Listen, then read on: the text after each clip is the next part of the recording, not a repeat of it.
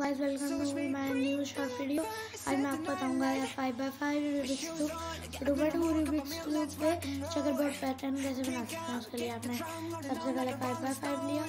ये one cube one देखा ऐसे कुछ ऐसे वन क्यूब वन फिर यहाँ बन गया, यहाँ से भी। ये आपने कैसे बनाना है? वन क्यूब चकर बोर्ड बन गया फाइव बाई फाइव पे अब मैं टू बाई टू बच लगाने के लिए पीछे वाली लेयर एक दो दो दफ़ा घुमानी होती है। फिर एक one two one two one two देखिए चकर बोर्ड बन गया वाइट और येलो वाइट और येलो सॉल्व हो जाती है। और यहाँ पे ये डिज़ाइन बन जाता है। इस call two by two checker board उम्मीद है कि आपको मेरी ये वीडियो पसंद आई होगी। आपने मेरी चैनल को सब्सक्राइब करना है, मेरी वीडियोस को लाइक करना है और नीचे कमेंट बॉक्स में कुछ लिख के जाना है। Bye bye